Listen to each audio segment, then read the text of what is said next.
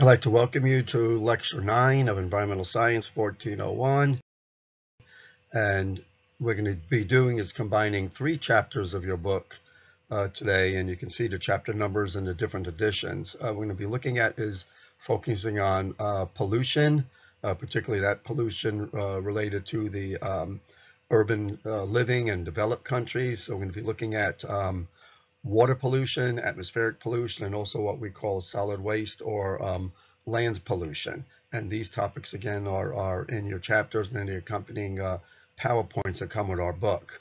So when we look at water, um, water is probably one of our major uh, limiting resources on the earth. And this is not only true for us, but basically uh, every, every organism on the earth. And um, most creatures um, at least the terrestrial creatures require fresh water. And, and particularly us we are we are users of fresh water not only for drinking but for running many of our operations and doing agriculture. And as we can see uh, when we look at freshwater reserves fresh water actually makes a very small amount of what we find on earth. So this large sliver here is what we call salt water. We've discussed um, ocean ecosystems already. So salt water makes up about um, you know, almost 99, you know, 98% of the water available to us. And this is a, a big issue when we look at um, usability of water, because most of the water available to us is in the oceans. And unfortunately, much of the ocean water where we get a lot of our uh, resources like um, algae, you'd be surprised how much algae we use in everyday products, um, fish, and, and, and, other sea life. Um, the, the, a lot of that water is polluted and affects uh, their populations and access to that resource. So just a very small sliver of water is fresh water. And most of that fresh water, at least for now, until more glaciers start melting, um, that uh, uh, um, ice water and glaciers make up about 75% of that tiny little sliver. And some people estimate up to 80. It really varies. And then we have this stuff called groundwater. This means that is water that is trapped in soil or underneath, and we have to really work at, at getting, if we can get access to it at all. Because some water is actually um, what we call hygroscopically um, bonded to soil, and we can't get out. And then we start looking at rivers and lakes and other freshwater bodies. This is a tiny sliver of what's available on the earth. That means it's 1% of this tiny sliver. And this is the water that we really, really, really rely on for our survival. And then we find water, again, like I mentioned before, uh, um, bound up in soil. And this is uh, water we have no access to. It's, it's mostly involved in the composition of soil. Now, water is part of what we call a hydrologic cycle. And, and what the hydrologic cycle is, it just means how does water circulate through the environment? And particularly going from fresh water to ocean water, we see this cycling. So when we start looking at um, the water cycle, what we need to pay attention to is the ultimate source of water, at least for our Earth, is some form of precipitation. And that just means water in, in the form of, of either rain, snow, in some cases ice, and in some cases cloud formation comes to the earth because clouds do drip water onto the earth by passing through mountain ranges and passing through trees. And in some areas, like particularly Central America and some of the mountains of Asia, the only water they have available is through literally clouds that condense on cooler uh, landscapes at high altitude and also on, on tall trees, and particularly in mountainous areas. So, and, when we start looking at precipitation, again, this uh, it doesn't matter if it comes in a form of ice, snow, or rain. It's still very critical. Usually when it's in the form of ice or snow, that becomes somewhat of a reserve. Uh, rain tends to come all at once, as we learned, you know, living in Houston. So what happens to precipitation is usually it ends up either in what's called surface water. That means a body of water like a lake or a river. Okay, and those are usually freshwater supplies, or it can end up in groundwater. That means water that either goes into an underground reservoir, like what we call an aquifer, which is a porous rock that basically passes and stores water for sometimes up to tens to hundreds of millions of years. Like we have, we live off what's called the Gulf aquifer, aquifer, which has water that's almost a million years old on average. Um, and water could also end up in oceans, either directly or through fresh bodies of water. What happens with the water cycle is once water is a liquid, either in salt water form or fresh water form or in uh, or in um, soil water. That water tends to evaporate or to be passed or be what's called transpired through trees. It means trees constantly taking water from their roots and pass it into the atmosphere. That water then goes as vapor, which then then becomes clouds and water droplets, because clouds are actually uh, water droplets that contain uh, dust and other particles, including bacteria, funny enough, help with that. And this cycle starts all over again. So this is called the water cycle. And anything we do to affect the water cycle is significant. For example, we could build dams that block up a river, okay, or in this case, an estuary, and can prevent fresh water, what we call recharge, into the ocean. And this can actually uh, uh, affect the oceans greatly because this here, where fresh water meets salt water, is an important uh, ecosystem. Plus, it, it replaces evaporation of water from the ocean because rainfall doesn't always have the, the potential of replacing ocean evaporation. We could also pollute water, which then makes it unusable for us and wildlife and, and, and has to be cleaned. And that polluted water could also get into groundwater, which travels for sometimes hundreds of thousands of miles to other places, just like uh, river water too. Um, we can end up disrupting temperature like global climate change, and that can affect the form of precipitation or where precipitation occurs and how much. So all of these are very important factors when we look at water. Water is probably our most fragile resource, and the United Nations uh, recognizes it as uh, a, not only a human right, but also a, a, a global security issue. We actually uh, deal with water and call it water security, meaning that the world should have access to abundant, that means not water to waste, but water for your survival, uh, abundant water and also water that is safe to drink and clean the contaminants and actually tastes somewhat okay. We call that potable. It doesn't mean it tastes great or is clear, but it allows us to live without uh, illness. When we look at groundwater in particular, okay, and these things called aquifers, which basically means rock that was buried hundreds of millions of years ago and trapped water in it and has a slow supply of water called a recharge area that goes through it. So much of our water, particularly in this area, we use groundwater. Some of our areas use what's called surface water, which again means water from lakes and whatever. But there are different types of groundwater. We have shallow groundwater, okay, which uh, basically resides right around here in soil or in what are called superficial aquifers. And these are ones uh, we do uh, find in many areas where you just basically drill a hole in the ground and you have water. This type of water is somewhat clean, but also can be readily contaminated by something that affects the soil. Then we have um, uh, more shallow, or what are called semi-confined and fully confined aquifers. Semi-confined just means an aquifer that is open to exposure from soil, okay, particularly in a recharge area, but is pretty much filtered by rock. Confined aquifers are sort of like, uh, think about like a sponge, it's just encased in cement and there's some openings in that cement that allow water in slowly to fill up that sponge. These aquifers are what we rely on a lot in many countries, particularly the United States. We have several major aquifers that span many states. We are along the Gulf Aquifer. Texas is also served by many aquifers, including a big one called the Ogallala and another called the uh, um, Edwards Aquifer. This is usually millions of year old water and has minerals in it, but is very clean and usually requires no uh, purification unless some uh, accidental or intentional contaminant got in there. Sometimes there are natural holes in, the, in these aquifers which produce artesian wells or sometimes springs, like you find particularly around here sometimes and also uh, in uh, the, um, where Texas State University is. They have a beautiful uh, un, uh, aquifer spring, and you find some of these around Austin too. Some free uh, flowing uh, slow artesian wells with this nice, cool, clean water coming out into the Guadalupe and other main rivers.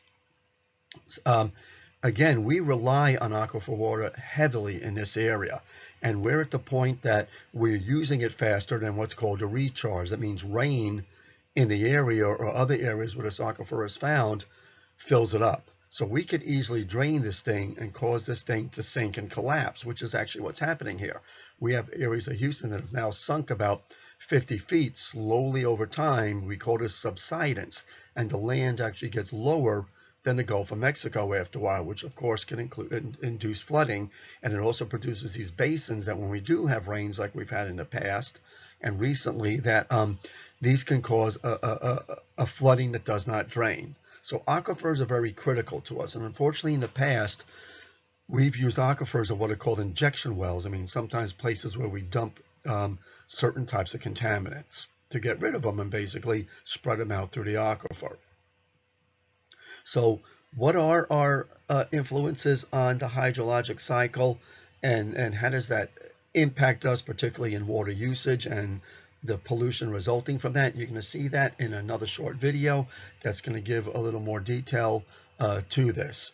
But anyway, um, a lot of what we do is we dam water, we redirect it, we pollute it, and this all has major factors on the hydrologic cycle. So one thing we do as humans is we shift the hydrologic cycle to the point where it affects particularly rainfall and snowfall patterns and also the amount of rain that could end up in an area. We also pollute the water. And guys, when water evaporates from the ocean or from lakes or soil, a lot of times it forms what's called an azeotrope. I'm not going to ask you that term. It's a chemistry term. But an azeotrope uh, means that water sometimes can't be separated from a pollutant as it evaporates, and it can carry the pollutant with it, sometimes for hundreds of miles and sometimes across the earth. And we find that sometimes rainfall that occurs in Alaska contains pollutant contaminants that might have uh, come out of Houston.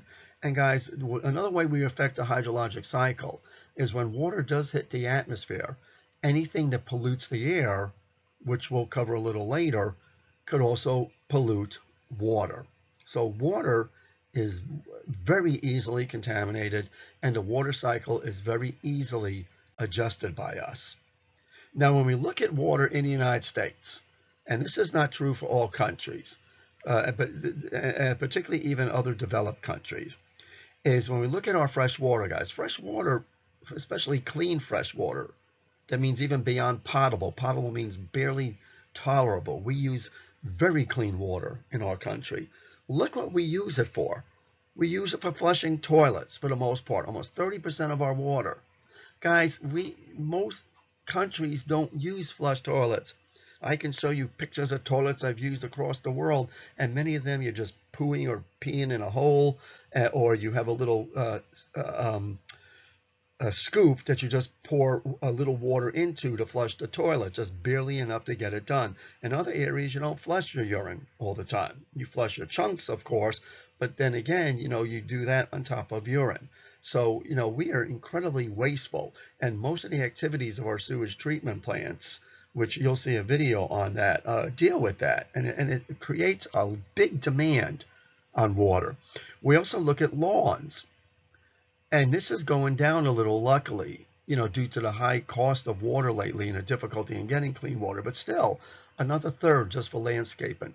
And there are things we can do that greatly reduce that, even to the point of telling, you know, uh, community associations, hey man, there are other options behind, besides having this very expensive and very water intensive lawn.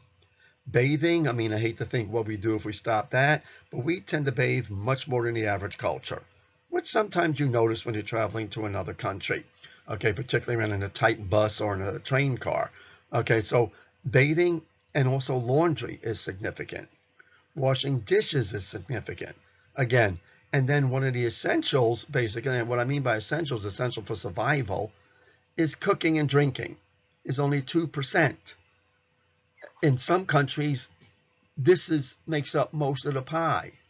So when we think about our water usage, guys, and we think about how other countries behave, we're probably the most wasteful as far as the biggest part of our pie is stuff that could be easily reduced or even eliminated in many cases.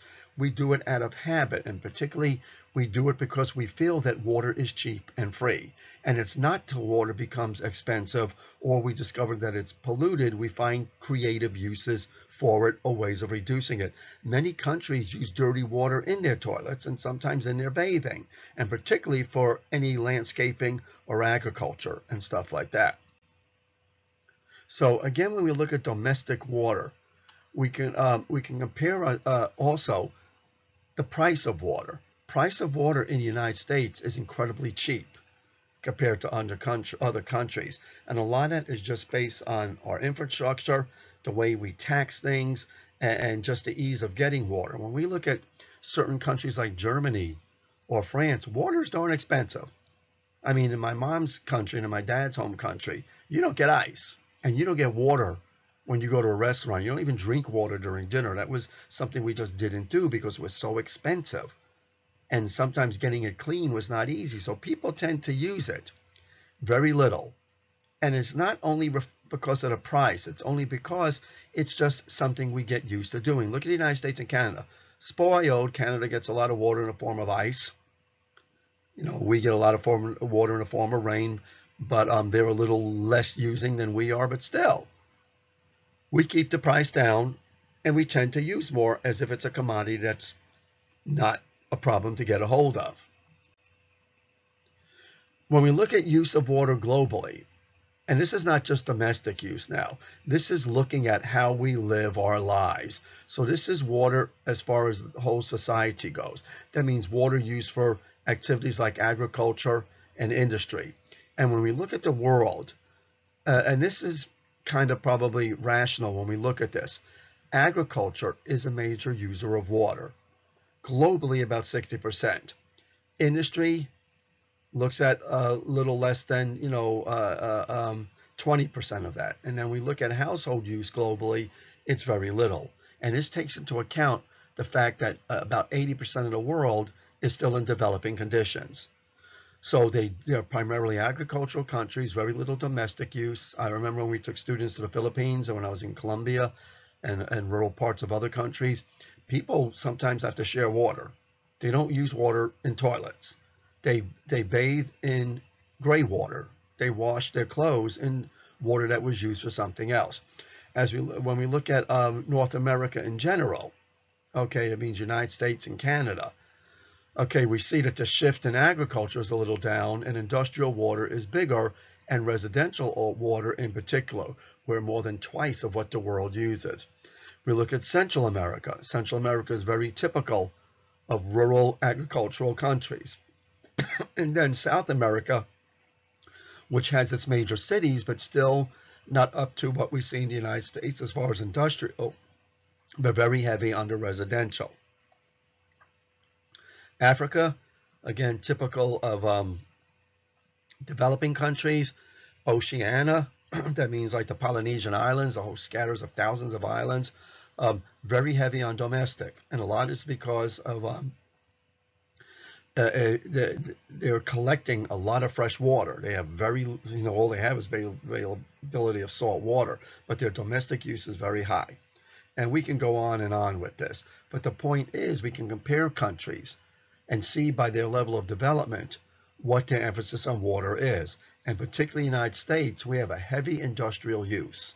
And the problem with industrial water is it uses a not only a large volume, but it tends to produce a lot of pollution, which makes that water difficult to clean and reuse. And in many cases, it's disposed in, in one of many ways.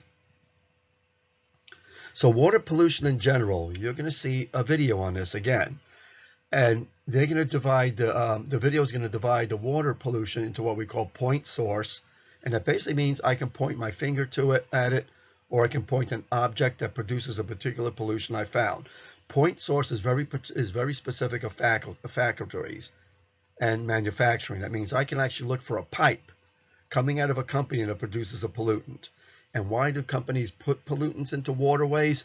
Is because under current guidelines, if you have a particular pollutant and it could be diluted, we put it in the water because the pollutant starts out at a very uh, um, low level, and this means just how much oxygen is in water. That's an indicator of water quality. That means the abundance of oxygen in water and availability for life. And usually the more different types of pollutants in the water, the lower that number goes. So here we see the water is so polluted, it's literally almost a dead zone. No oxygen for plants or for uh, fish to use. And then it gets diluted over time to the point where if you're down here, it's almost what it was over here, and there it's actually clean. Now, this is not always true, but in some cases it can. And uh, pollutants that dissolve in water do this very easily. Pollutants that dissolve in oils tend to stick around in the soil and tend to get accumulated in wildlife and drags that high number all the way down here. So a point source just means I can find where it's coming from. Non-point source means I can't point to an individual that is particularly producing that pollutant. So if you go into a heavily trafficked area, like let's say Manila, or you go into downtown Houston, there's a traffic jam, and you smell the polluted air, you can point to one particular car and say, hey, that's where your pollution is coming from. That's non-point. Also, pollution in a sewer is non-point. That means we can't tell what particular house is producing that pollution, and it's all what we call aggregate. Non-point is easy to spot, it's easy to penalize, and it's easy to control. Non-point is almost impossible. How do you control every household? is the question. And when we look at, uh, again, where water pollution goes, water pollution can enter a man-made body of water, sometimes called a lagoon, a lagoon or a strip, and that can get into the soil. It can go down disposal wells, which again gets into soils and even sometimes aquifer and groundwater. It can go into rivers. So water pollution is not just a pollutant of bodies of water. It is also a pollutant of soil, and in many cases, if it's stored in uh, ditches, in landfills, that could also become a, an air pollution quality issue as certain pol uh, water pollutants evaporate. So this is water pollution. Again, you'll see more of this on a video. I'm just giving you some general principles here to understand the video. Now, when we look at how we treat water, there's what's called water catchment and water treatment. With water catchment, what we do is this is how we collect water and clean it up. So when we start looking at uh, um, water catchment and treatment, okay, um, water catchment means we collect water from either surface areas or buried water. This is groundwater, that's surface water. Usually surface water, which we don't have a lot down here. We're going to see more and more in our area in particular. This is water that's exposed to the environment. Of course, this will be polluted and silty and full of fish poop and other stuff. And what we tend to do is we chemically clean it up or we gently settle out stuff. We don't sterilize it, guys. It comes out still the way it is. Many contaminants are in there. We sometimes filter it so you don't see chunks. And sometimes you'll smell your water is a little heavy on the chlorine. It smells like swimming pool or it has an off taste. That's all due to the chemicals and the amount of contamination I got in here. That then could be, depending on your system, is disinfected, stored, which in a way cleans it. Sometimes it encourages bacterial and algal growth, and then that goes through your tap. That's one type of catchment with a treatment. This is catchment usually without treatment, and this is typical for here when we look at aquifers. And this is one particular type of aquifer where we tap into it. This is what City of Houston does and parts of, you know, a lot of Harris County. And we literally take that water directly out of the ground. It's filtered and cleaned. Sometimes we add chemicals to it to treat it just to make it more tasty or in case we do find it as a contaminant in it, we might want to get rid of it, but that's very rare, is we take that water directly. And that's why it's great to take out of aquifers. We're going to be eventually converting over to surface water and that's going to be an issue because that's going to make water more expensive and we have to set up these uh, uh, elaborate treatment systems to do to clean it. Now once water is used we call this recharge. That means the water is out of your body, out of whatever it's doing, out of the factory, out of your tub, you know, out of a pot of water you just put down the drain, and now it's going to wastewater treatment. Many countries don't have wastewater treatment literally the, the raw waste and raw sewage goes into the ground or into a river. And I've seen this many, many times, you know, and, and there's, it's, they can't afford to treat. These are very expensive facilities, and I'll post a video on that too for you to watch for your entertainment and learning so you kind of know where your poo and your pee goes or anything else you're throwing on the toilet. Water treatment is a very elaborate process that takes basically uh, water from sewer pipes, from drains, street drains, whatever, even street runoff, and it try and it screens it, removes large chunks. Some chunks the size of cars can get in there. Um, some of the worst things you can put in here in a sewage treatment plant are, are like uh, too much paper. That means non-toilet paper paper, cloth, um, pieces of metal, dental floss, hate to say this, but um, tampons, sanitary napkins, because they all clog these screens and clog the system. Sand and grit, uh, oil, that means any type of uh, motor oil or even cooking fat, bacon fat, grease, can clog up the system and it can even clog up the system downstream. So um, when we look at, you know, sewage treatment, so you have this first process called the primary process, which basically just settles out stuff. It settles out large chunks of poop and it digests it. It means it breaks the poop down, very much like you see in septic systems in a house. It uh, removes the grit, removes solids, and then we aerated it, which basically encourages the growth of beneficial bacteria that get rid of disease-causing agents and also break down a lot of the junk that you don't want to dump into the environment. The heavy stuff becomes sludge, and all this we're going to see gets collected later. Then in many sewage treatment plants, we clear the water up. That means we settle out stuff and we disinfect it with either chlorine, that means what we use to sterilize swimming pools, very dangerous ultraviolet light, and sometimes toxic gases like ozone or, or, or uh, ethylene chloride, which are toxic, but once they sterilize the water, it's okay. Most municipalities can't afford to do this very easily, and the water goes out either into rivers, into oceans or into what are called recharge areas. It means back into the soil, okay, in somewhat of a clean way that we call potable. Most sewage treatment plants, you do not want to have what's called fourth level. This is first level, second level, third level, and fourth level is called quaternary treatment because that means incredible disinfection, okay, to the point where the water you can literally drink as it comes out of the facility. So probably one of the most important aspects of water usage is cleaning it up. And guys, that's why when you, you know, take shower water does not really have to be cleaned that much. And when you're just wasting water, period, letting it run, that's a problem because you're taking clean water and now putting through a system that's very expensive to run and ramming that water right through here. And guys, this system too is also not foolproof.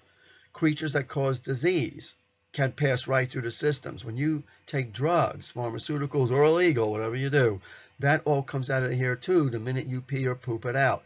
Uh, many things pass through here. Hazardous chemicals don't get removed by treatment. So remember, that eventually becomes your recharge water, which comes back into your house and then again is cycled through your everyday living. So let's go from water to atmosphere. Very quick transition here. I want you to know the parts of the atmosphere because this is very critical when we try to understand, you know, how our Earth works. So um, the lowest part of our atmosphere, and this is in meters, and this is in kilometers, period, I should say. So this is uh, um, uh, 10,000 kilometers, which means about 30,000 feet. Mount Everest is about 29,000 feet high. And a lot of your jumbo jets or jet aircraft fly about this level to avoid hitting mountains and also because that part of the atmosphere is very cold, about minus 80 to minus 120, and that makes the planes more fuel efficient. And also there's less friction on the plane and better uh, uh, uh, aerodynamics in a way on the plane. A lot of Air Force jets fly about here, but that's very difficult. There's almost no oxygen, whatever, and that's in a layer called the ozone layer. We'll talk about in a minute. So this is called the troposphere. Uh, uh, the lowest level of the troposphere. That means right about here, literally halfway up that mountain and to whatever, and sometimes these peaks, we find something called the biosphere. That means a part of the atmosphere where organisms exist. Because guys, many organisms can't exist here. Humans can't without special assistance. You will either freeze to death or suffocate. So the troposphere is what contains heavy amounts of oxygen. And, uh, um, and we're going to see that uh, most of the atmosphere is actually made of what's called nitrogen gas, about 70%. A small percent of that is made up of uh, atmospheric oxygen. Another percent, about 0.04%, is made up of carbon dioxide, which is essential for plants. It's deadly to us. And then we have other things making up this troposphere. So the troposphere is kind of like the livable part of the Earth. As you get towards the top, that's not so true. And a lot of it is because the additional sunlight that's up there, especially ultraviolet light, the lower amounts of oxygen in the atmosphere, and uh, uh, and also the you know again the extreme cold that we find up there, and also pretty extreme winds. The stratosphere is a level above the troposphere, and it's loaded with a dangerous gas called ozone. Ozone is safe up here. It's deadly down here, and usually down here is the result of pollution, air pollution. Up here, ozone is naturally formed as a result of, of oxygen in the environment and also the intensity of sunlight. This ozone actually blocks particularly ultraviolet light, UV light, and other things. This is essential to protect the earth. Down here, ozone is not. It's a pollutant, and we report ozone uh, pollution days literally regularly in our area because it, it could be that deadly and affect elderly people and children and people that are doing athletic activities. So the stratosphere, um, it's a uh, it's it's a commercial layer for us. We send a lot of jets up there, okay, but it's a it, it could be a very cold area, and some cases a very warm area, depending on where you are and depending on the amount of the radiation that's in that area. Okay, when we get to the mesosphere and thermosphere, these are non-livable areas for us, but they also play a critical role. Once we start getting around the thermosphere and, and towards outer space, because right up here, man, it is dark. I mean, it is dark. Okay, we start to get high levels of radiation, in some cases, very extreme temperatures up here. Now, up here, we also find a nasty pollution called space dust. That means stuff that we've produced, microscopic dust, okay, that comes from um, burnt up rocket ships and satellites and stuff like that. And this dust can contain anywhere from heavy metals, other toxic materials, to radioactive materials and other things that can come down towards the Earth. The space dust usually travels around above the atmosphere, or the troposphere, at about uh, 24,000 miles an hour in particles the sometimes the size of a you know a, um, a bus to sometimes mostly the size of microscopic pieces. But imagine that traveling that fast, and a lot of that eventually comes down to the Earth, burns up, and becomes a, a pollutant in its own sense. So this is the atmosphere. Please know the parts and the approximate distances from the Earth. Now, within the atmosphere itself, too, we find these constant winds that are driven by open, uh, uh ocean temperature and driven by the spinning of the Earth. So we find these winds that uh, kind of uh, take the atmosphere and move it around and shuffle it and shake it around and disperse it like this and also disperse it in movements that cause uh, ocean currents and create waves. So notice how these things move around. And what we'll see is these uh, little swirls here, what are called cells, can actually take warm, moist air and make it cool and dry and take that cool dry air and deposit it in another area. So we find here is, is somewhat cool dry air, warm moist air due to these cells. And this takes warm moist air, it brings it along the ground, opposite direction, it spins, and then picks up moisture for the ocean again and deposits that here and makes this area wetter and then this area be drier. So we see these sometimes bands and this significantly affects biomes of cooler and warmer regions as we move towards the, from the equator towards the poles. These also create ocean currents and also can uh, oceans can have an influence on their temperature and these things can have an influence on the temperature of the ocean. So the atmosphere is pretty complex. And think about it too. If you produce a pollutant in your area. It can get caught up in these winds, in these uh, cells, and end up being carried almost anywhere in the earth, which we discovered is true for catastrophic pollution uh, uh, situations, particularly uh, Chernobyl, which dumped tons and tons of radioactive material in the air that spread globally over the years through that system. So when we look at air pollution, you'll see a short video on this. We're going to classify air pollution into what we call primary pollutants, and secondary. Primary means these are directly produced by us as they are.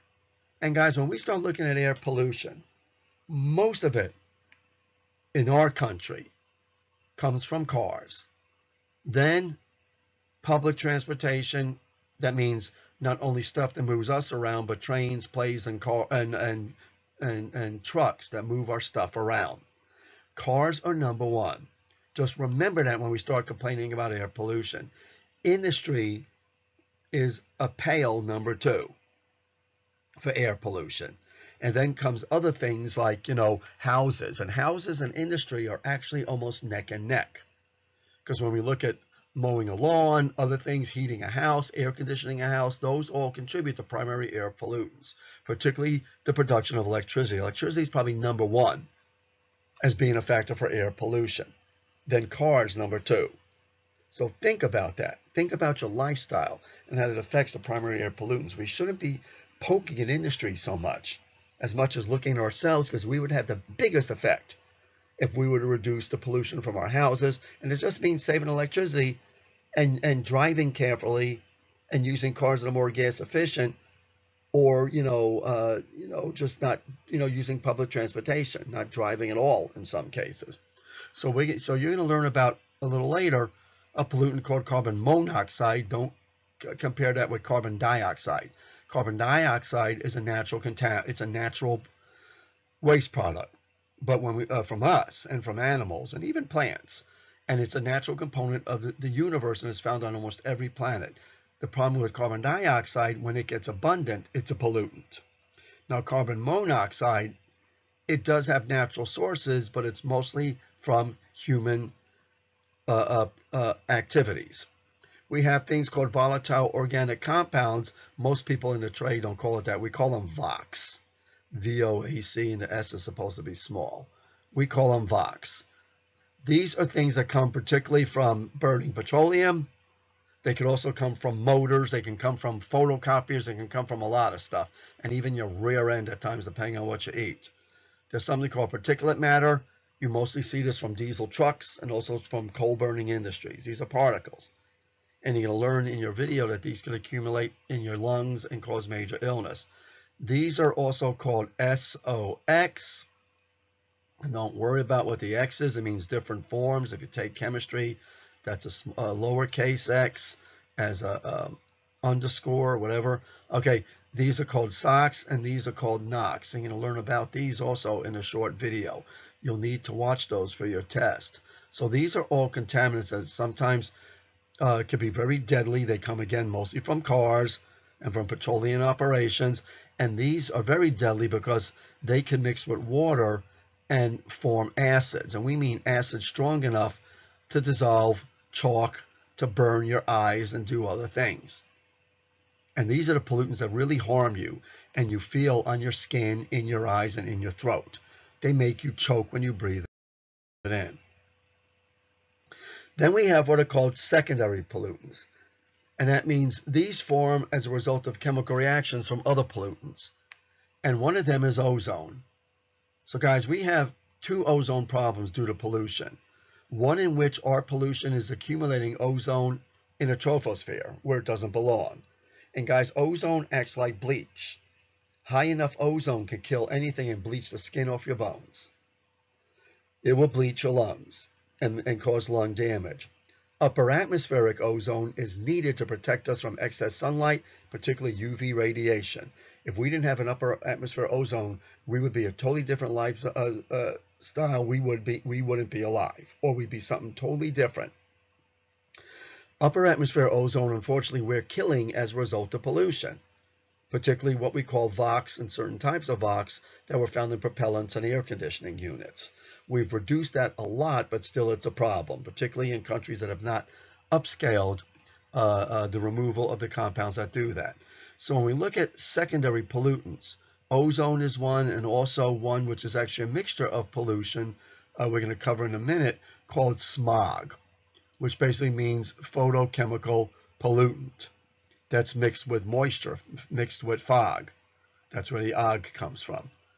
So here again, and guys, you'll sometimes see uh, um, uh, uh, uh, um, when we look at air quality, in the United States at least, we focus on certain types of pollutants. Before we didn't mention lead as a primary pollutant, and that also is an important one. So when we so when we classify pollutants, we look at particular ones that we find the most important the easiest ones to deal with and the easiest ones to measure. Because guys, they could be about up to 2,000, 3,000 air pollutants. Some of them are minor. Some of them, yes, like VOCs are bad.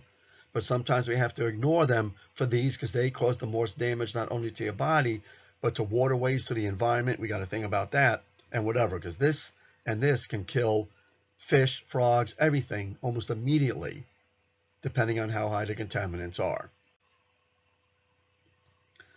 Um, a big problem that we had in the United States at one time, it has been reduced, but it doesn't mean it's been eliminated.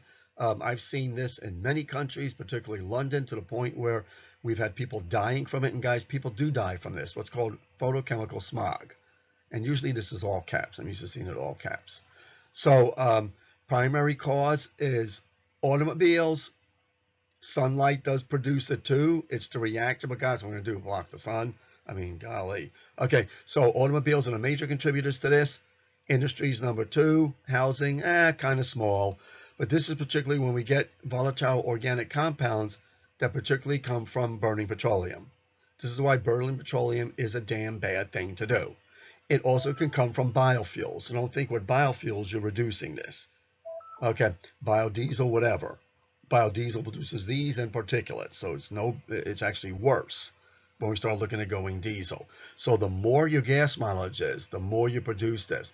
And what happens, these chemicals get together, they mix with sunlight, they mix with stagnant air particularly, and, and, and they form something called smog, which can kill people.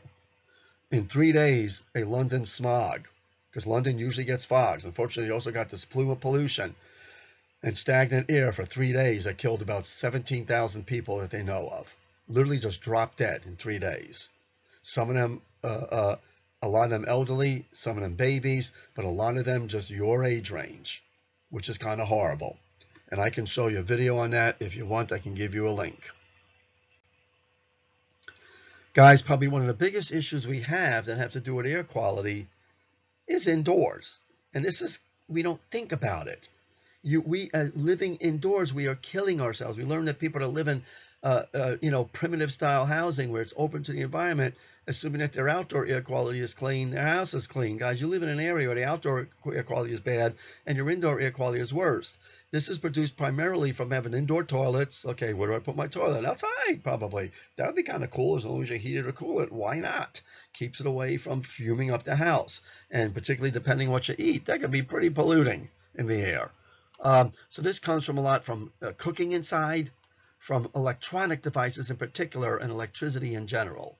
So oh, guys, right now I'm sitting in front of my computer. That's producing fumes that are killing me. So teaching is killing me, particularly online.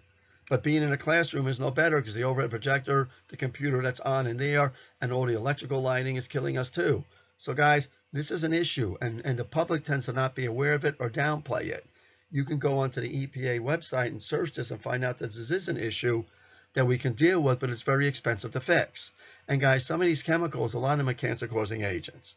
And the Department of Energy already has an incredible study that shows people that live in houses like ours, particularly those made up of wallboard and cement, which contains an indoor pollutant called radon. It's a radioactive gas. It's killing us. It's increasing our DNA damage, and it's actually increasing our susceptibility to disease. Yes, we live in a society that lives longer, and we can sometimes counteract the effect of this. But as uh, but when you start talking about people that are poor and can't eat healthy and can't get medical care, they're the ones that suffer from indoor air quality, and school children particularly. So guys, again, you're going to be looking at air pollutants in another video. Last but not least, we're going to look at the whole idea of solid waste. And solid waste is difficult to explain. Basically, you know, it's anything that mostly ends up on land, but as you can see here, ends up in water. And guys, this is not an exception to the rule. When people don't have bathing water, they can't pump it out of a tap. This is bathing water. And I've seen kids playing in this. I've seen people recycling stuff out of here. This is not unusual. I have pictures I've taken where the water was solid, solid waste. That's kind of redundant, but whatever. This ends up on the ground and sometimes this volatilizes and ends up as air pollution. So when we look at solid waste, usually it's classified by who produces it. So we have household waste, we have commercial waste, that means small commercial waste, that means from local stores, barbershops, you name it, you know, dry cleaners, whatever. We have large manufacturing waste, we have mining waste, agricultural waste. All of them come from different sources. And we can categorize waste according to whether we have to dispose of them They're non-recyclable or non-renewable and some that are renewable. And we also have a solid waste called hazardous. We're going to cover that a little later. Not all of our waste is recyclable.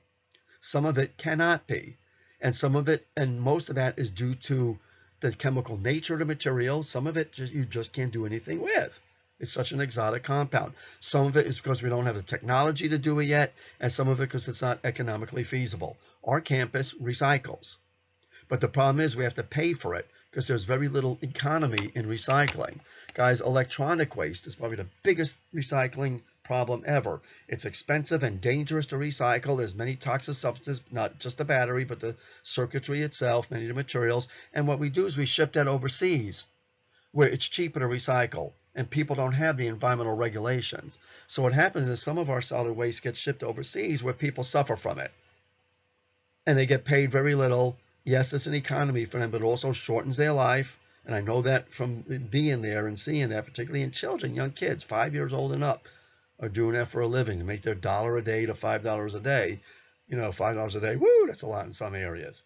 You know, but um, but what happens is that material then gets shipped back to us mostly what we find about recycling solid waste is it's more of an economic thing and also what it does is it doesn't reduce pollution as much as it reduces having to mine stuff particularly recycling the paper. Uses less trees. But guys understand recycling produces pollution. Uses a lot of water. It produces a lot of air pollution. Uses a lot of electricity. Just remember that. There's a cost benefit to it. And guys i know particularly with water pollution our area suffers from the outflow of water pollution from Angelina County that has a large paper recycling uh, uh, facility that takes the paper and actually turns it into other materials.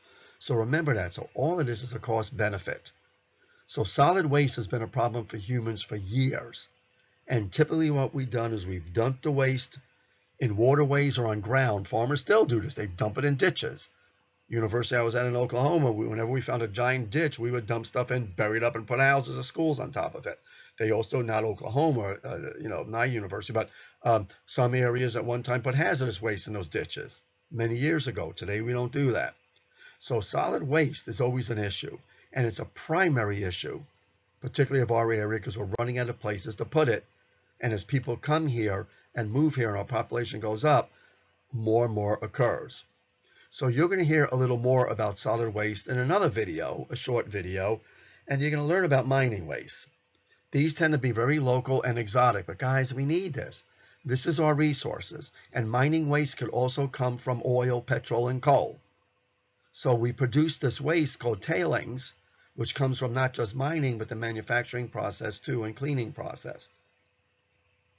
We have agricultural waste, and some of this comes from you how you want your food.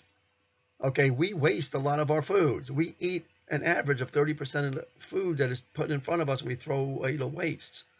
It doesn't get recycled. It goes into toilets or it goes into, um, I mean, sewer systems, or it goes into uh, landfills. I mulch mine. I keep it in the system. It goes back to the soil, but definitely not where it was coming from. So agricultural waste is a big one, and we don't have to have it earlier societies didn't.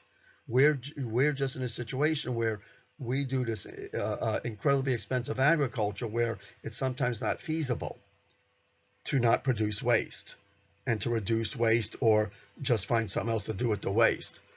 Okay. So this is this is a big issue. You'll hear about it a little later, but it's something that's very difficult for us to control. And then we have the industrial manufacturing waste. And believe it a lot, and, and guys, look at that number. This is an approximate number. But guys, this number now is lowering as regulations go up. And this number is going down. So that means we eventually might exceed. That means municipal, meaning households. What cities produce from small shops, operations. That means car repair, you name it, grocery stores, okay, movie theaters. That's all municipal. That means city living, even rural living in a small town we're going to exceed eventually industrial because they have more of an incentive to recycle, reuse, and not have as much. Guys, Amazon, I'm not putting them down, but the fact that we sit on our butt and order stuff has increased the amount of packaging so much that it's creating a problem. That's municipal. And that's a problem. It's literally in some areas doubled the amount of waste. through the packaging, the boxes, and the amount of boxes in general, just the amount of material that comes. And because we want to ship stuff without breaking, sometimes you have to put it in large boxes with large packing material. So these are, again, the major categories of waste. And guys, within these categories, we can identify it based on its disposability or whether it's hazardous or not. And we're going to cover hazardous a little later. Guys, when we look at the United States, because each country varies, and in some places you hardly find any waste. And you know what's funny, guys? Our holidays, like this poor turkey here, will succumb to if you do turkey on your holidays, okay, or even pig if you eat that on your holidays in a form of, you know, ham, whatever, okay, um, is that those are very wasteful things. Big meals, parties isn't that horrible. The way we maintain our house, our general lifestyles of how we shop, how we just live in general, how we want conveniences, makes uh, us a very wasteful society. And again, it's just the way we grew. It's to what you're accustomed to. It's not necessarily bad if we don't do something to make it sustainable. So you can live a pretty reasonable lifestyle as long as those materials don't end up as waste. And there's a clean way to reuse it, recycle. And that sometimes means affecting our quality or making life a little more inconvenient. So we find food, food scraps, whoops, is a biggie, and many schools are looking at individually reducing this. I know in France there's a big movement to reduce food scraps. Uh, many farmers in developing countries use the food scraps as animal feed. There's no waste in that, particularly fish feed. It's very good for, or, or, or for their pets. I mean, my dogs got rid of food scraps, which probably didn't, you know, help them live any longer than they did. Whatever. But um, we see yard trimmings is very, very bad. This is why I'm against yards. I protest having to have a yard. I'd rather have a pile of decorative rock, but we're not allowed to do that, except without, you know, without special permission. And I, we've gotten turned down a couple of times due to it, you know, to petition for it. Um, we see wood. A lot of waste wood gets thrown out, rubber, leather, textiles, stuff that's very difficult to recycle in our country. Other countries do. Plastics are on the rise. This number is growing. Metals are on the rise. We still throw out a lot. Glass is very difficult, expensive to recycle, so you see a lot of this ending up in waste. And look at the paper and cardboard. It's a little different than wood. This is processed wood, which means a lot of pollution went into making this. And that means every time we, and we demand more, it takes more manufacturing to do that. And then other just includes wear junk. I don't even want to go into that. Okay, so whatever. So this is us. And notice some of these things are not essential. Food scraps are not essential. I'm serious. They can go somewhere else instead of having to be disposed of. They could be reused. Yard trimmings could be removed. I know many cities in Texas recycle yard trimmings. They actually mix it with food scraps and turn it into animal feed if it's clean, if it meets USDA, you know, approval for animal feed, or it can be used as plant fertilizer. It can be sprayed onto farms. They actually turn into a mulch and spray into farms. Uh, there's a there was a machine uh, in China I once got to see operate. It's a giant machine, requires very little human labor, and it takes all this junk, separates it. That means even food scraps, and can separate it all in, in, in, in this one conveyor belt machine, and have all these things cleaned and ready to be recycled or reused.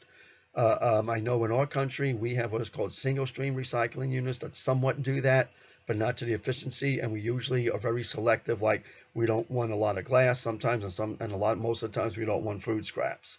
Certain thing, uh, a lot of places don't take rubber, leather, and textiles either. That all gets disposed. Some countries that gets recycled, yes, even back into clothing and materials for living. So guys, it makes sense as human population goes up. Obviously, our total waste goes up.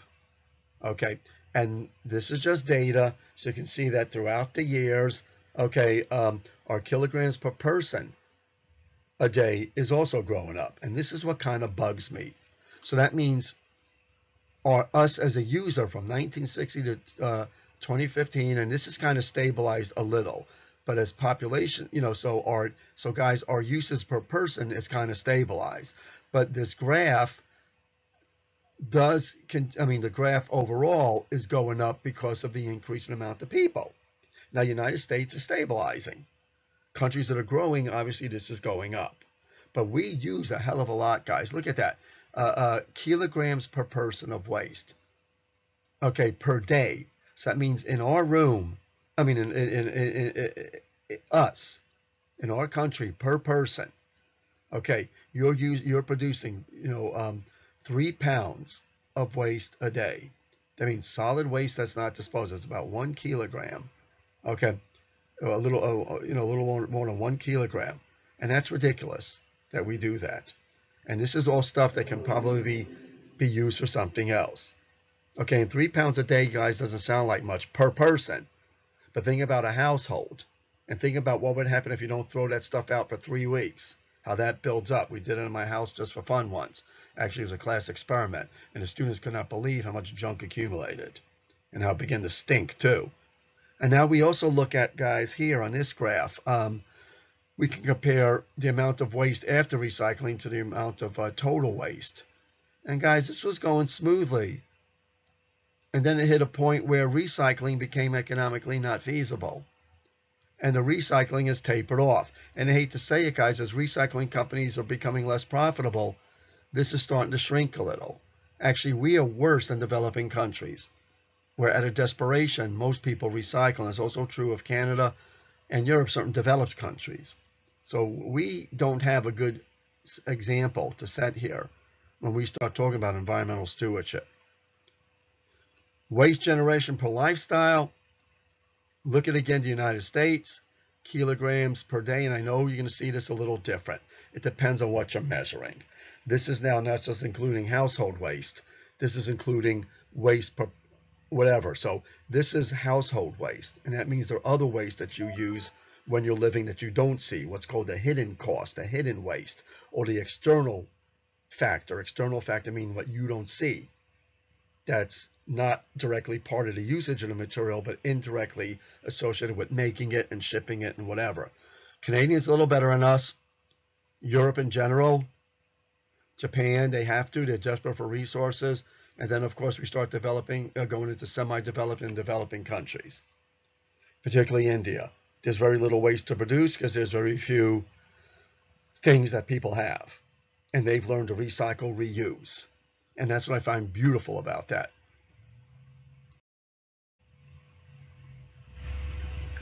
So guys, when we start talking about disposal, guys, that's what do we do with our waste? How do we dispose of it?